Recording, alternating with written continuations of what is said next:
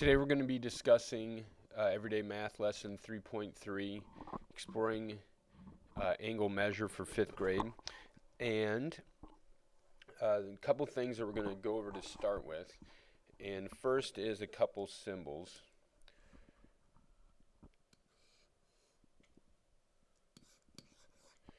So whenever you see this symbol, means angle B. So if we had a square, each vertex would have a have a label. So angle B would be from A to B to C. A another way that you might see that written is angle ABC and when they have three the one in the middle is always the vertex so A, B, C. Uh, they'll also have that with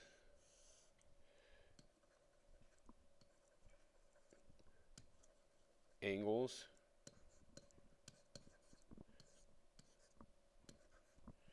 So it can work the same way. So angle B would be this angle in this polygon in the square and in this angle it would be ABC with B being the vertex the point where these two lines um, intersect.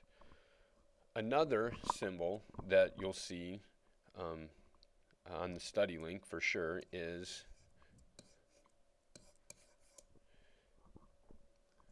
that one, or you could also see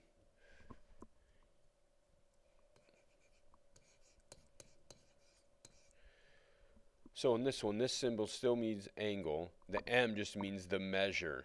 So if it's M a, angle B, measure of angle B, they would they want to know what the measure of the angle is, the degrees of the angle of that of that angle.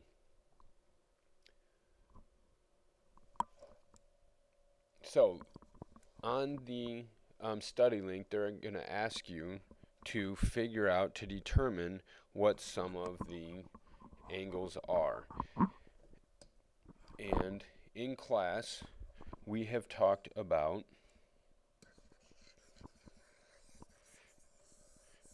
uh, the different measures of the angles of the different polygons.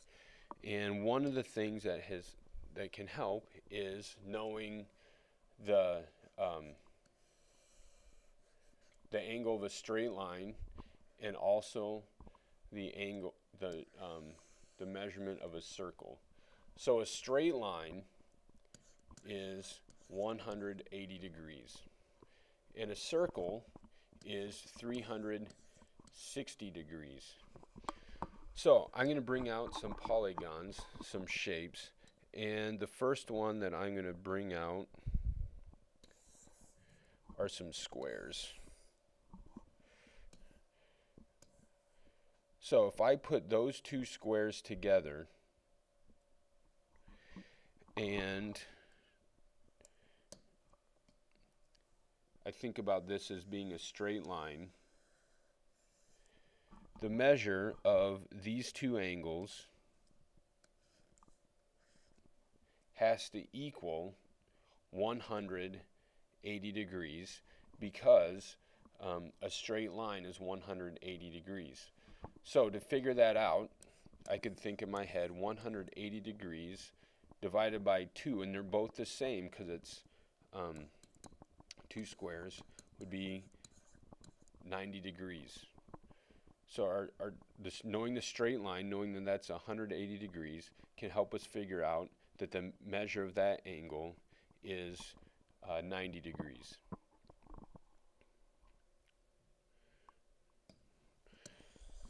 Now if we use some different polygons,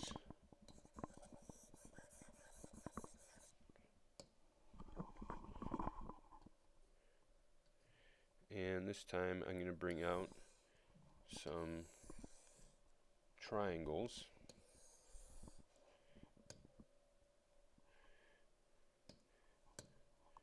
And I'm going to rotate this one. Not going to quite match them up, touch them perfectly, just so we can see the space between them. But these are equilateral triangles, meaning all the sides are the same length and all the angles are congruent, are the same, um, have the same um, measure of degrees, the same angle. So again, if I come back here and I put in my straight line,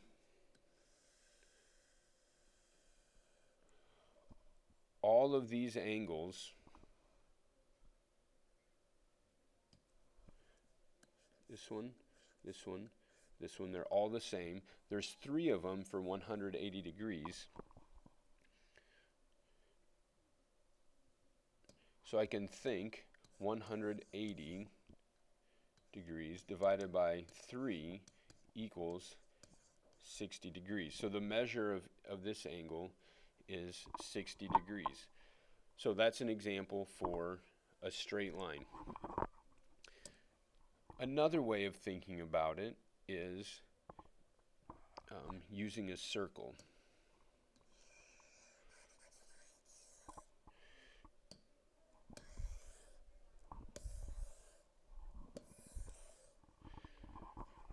So if I take a square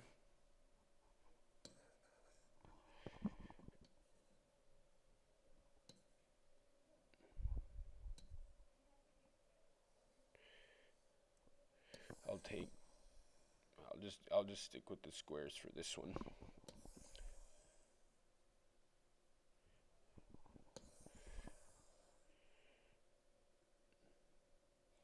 So I've got four squares. And coming back up here, we talked about a circle equaling 360 degrees. So if I draw a circle around um, those four vertices, those four corners of the um, squares, all of those angles together should equal 360 degrees. In the straight line, we'd already determined that um, these two angles were 90. So we, we do know that this is 90 degrees. But just as an example with the circle, we know that each of those angles have the same, they're the same, it's a square. So all the angles are congruent. They have the same measure of the angle, which is 90 degrees. But if we didn't know that, um, if we didn't know that a square had 90 degree angles, we could use our circle to help determine Okay, a, a circle is 360 degrees. We have four angles that are all exactly the same. So we could divide that by, not 60, we could divide that by not, not 4 either, my mistake. Or not 90. We need to divide it by 4, because there's four angles that are the same. So 360 divided by 4 is 90. So that can help us determine that um, the, the measure of the angles of a polygon by drawing a circle around it. You can always use a, a straight line or a circle.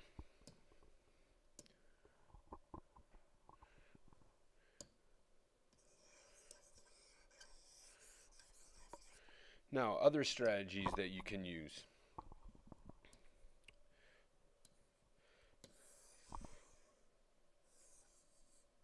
Oops, I got to erase that one up there.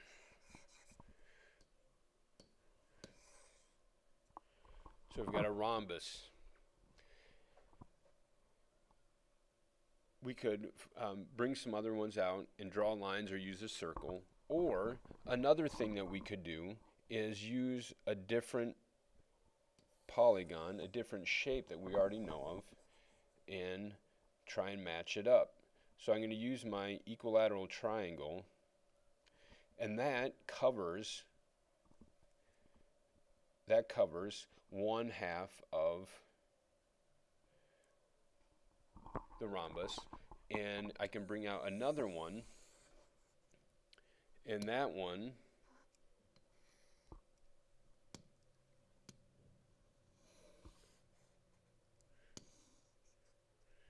covers the other half of the rhombus. Let me just leave a little space in there. It's not quite perfect, but um, it will work. So for this, so I'm gonna I'm gonna take these away for now.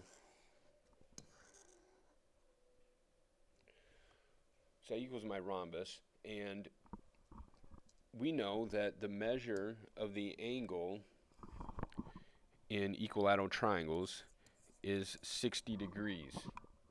So if this is 60 degrees and this this angle and that angle are congruent, they're the same, then that would also equal 60 degrees. Now, how are we going to figure out the measure of these two angles? Well, we can come up and we can look at this angle and this angle and this angle and this angle.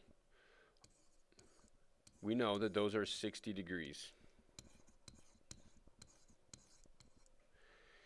If this angle is equivalent, equal, congruent to these two angles put together, then this angle would be 60 plus 60, 60 degrees plus 60 degrees, which equals 120 degrees.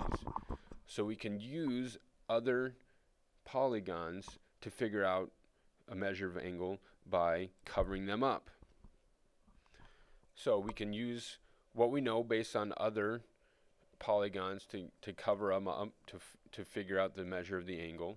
We can use the strategy for 180 degrees um, for our angle using a straight line, or we could use our strategy for 360 degrees for the straight line. Uh, if you have any questions, make sure that you um, make sure that you ask Mr. Brandt, and uh, we're going to be doing a lot of fun stuff coming up here with our our geometry unit, and this just gets us kicked off. So. Have a good day.